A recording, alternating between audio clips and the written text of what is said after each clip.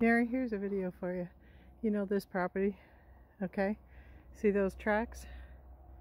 See them with the leash all the way along. And these are fresh ones. These were from this morning. Because look at that.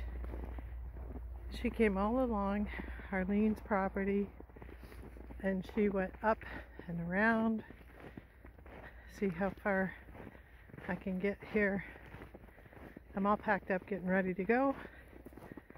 So we have the tracks. She hugs the property, which is typical of a dog that doesn't want to be seen.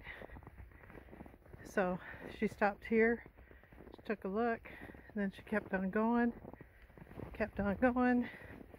Now we're up behind the garage, just so you can see where I am. So we're trudging along and she comes up along behind the garage and around and around. And then we're heading towards the garbage bins. She came up to the garbage bins. And I think she was following my footprints at this point. And then she went up there's her tracks there. And she heads up to the road. And then gone from there. I don't see anything else. Uh, let me look around in the snow. So yeah she came up here and took off. Went up that way.